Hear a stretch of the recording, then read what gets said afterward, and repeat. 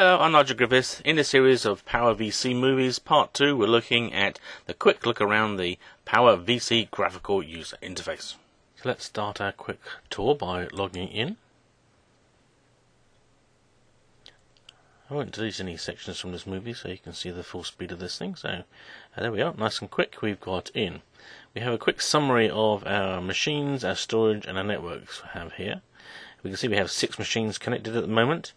This, uh, if we hover over here, we can see reserved and using. Using is the Power VC.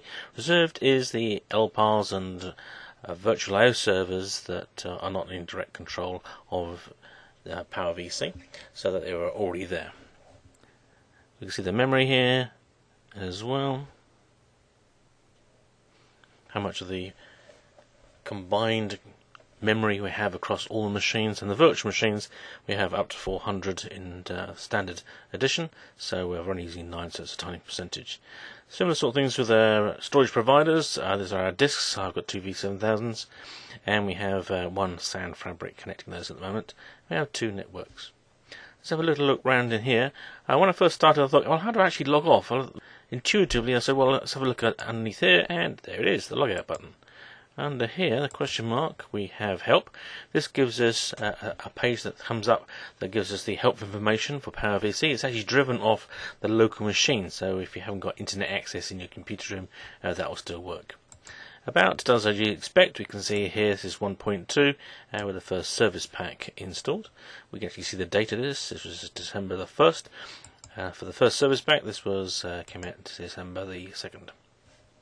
We also look up in here, we've got check for updates. So if I click on that, it'll just take you to this page in here in Fix Central. This is nice because it's already pre- predefined that it's in other software, Power VC, so you don't have to go around trying to find this thing. You put in your version here and it'll tell you what fixes and updates are available. Back to Power VC. Along here, if uh, something goes wrong, we'll find uh, the messages appear here. These are actually in uh, log files on the machine itself, but this tells us of what's going on. Quite often we kick something off and then it will report here later whether it worked or not.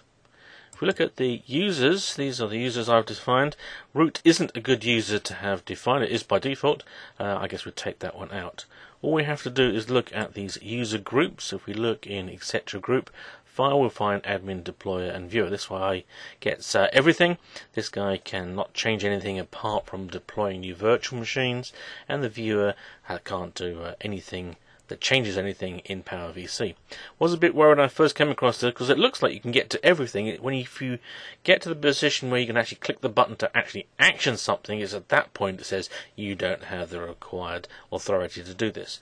Quite nice because then the viewer can actually see all the parts of Power VC and they can't actually still make a change though. Good for letting somebody have a, a look round and learn about it without doing any damage. In the configuration side of things, we have the placement of the virtual machines. There's two in this version. We expect more in later versions, so we do striping, which means put the virtual machines across all the machines in turn and go round round, round robin style, um, or fill up one machine until you go on to the next uh, as it fills up. Down in here, there's some more advanced features. These uh, storage uh, connectivity groups allows us to group our disks for perhaps two sets of disks for production and dev test or something like that. These are more advanced features, so we'll dodge those for now. Uh, the compute templates are particularly quite good. When we actually deploy a virtual machine, it uh, gives us templates of small, medium, and large, and we have a, a, group of them here. These ones that start M1 are the default set. We can see the number of CPUs. This is the uh, virtual processor number. Then we have the amount of memory it will assign and the amount of disk space it will go for. You can, of course, uh, define some more of these. I've done these for database uh, medium and large. In here, but we can quickly uh, create one. We'll give it a name. We'll just uh, use demo. We'll see this come up in a, a, little bit later on. I don't know. We might say um, a virtual processor count of uh, eight and a entitlement of six uh, memory. It does have to be a multiple of the LMB, the logical memory block size and um, on disk size we can just give it a, a, rough disk space. Further down in here then we have compatibility modes. If we have uh, lots of machines being managed by PowerVC and say they're all Power 6 machines apart from one Power 7 machine, if we want to maintain live partition mobility um, across them, then we could say the default is Power 6, so that will run on a, a later model machine, even though it won't benefit from the extra features. If we go into advanced mode, then we have the minimum maximums that we're more familiar with, with doing things on the uh, HMC.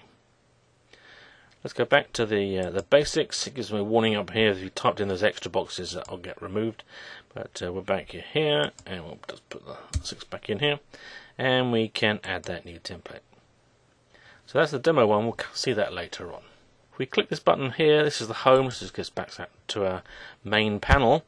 We can click these plus buttons in here to add resources, or we can go down to the resources here. So if we have a very quick look down here, we have the, the uh, disk space being allocated. These are the images that we deploy into uh, virtual machines. If we look at the storage providers here on my two seven, uh, V7000s, uh, Tan and Dun, this is the name I've just given them so I can remember what's what and the available disk space. Um, over here we have the SAN fabric. We click these um, add uh, features in here, it will ask us some questions to log in and start managing those resources. For the network side, we have two set up in here, static and DHCP. In here we have the uh, hosts. So these are the computers we're using. We have a slide bar down here to see some further ones. Um, and we've got um, the way we connect these up is connect them to a HMC. If I click on a particular HMC, as I go over the top, it gets an underline. This means there's more information if we click on this. If I click outside that, it, it just highlights that particular item and we can take operations against it. If I drill into that, we can see the HMCs. It says this HMC12 is controlling these two machines. If I go into that green machine, I have more details of the machine. In later movies, we'll look at these details um, uh, more deeply. But the reason I went in here is you can see we're building up what's across the top in here, what is called a breadcrumb trail. Now, if we wanted to go back a level, we can either go back up one level or two levels back up to the top here. And see that host in this way. And we could, of course, go back to the this one here for the host to actually get out of it as well. Um, here are my virtual machines, and we can see again if I select one, then I can take the particular operations uh, for it. Up in here we have the uh, images. Again, if I click a particular image, this is just a base AIX7 install, then once I've selected one, I've, the options I can uh, have for that are up here. If I deploy, you'll see this is going to say, okay, you want to set up a virtual machine. You can see for our small setting in here, the default that the projected size is just half a CPU for the processing units. That's the entitlement. Um, if we select a larger template in here, extra large, takes us up to uh, 8 CPUs and entitlement of 4.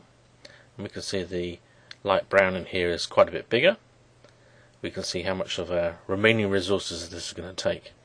If we click again in here, we can see the one that we just created, the uh, demo system. It's actually giving us a warning in here that the size of our LPAR must be a multiple of this LMB, the logical memory block size, 128.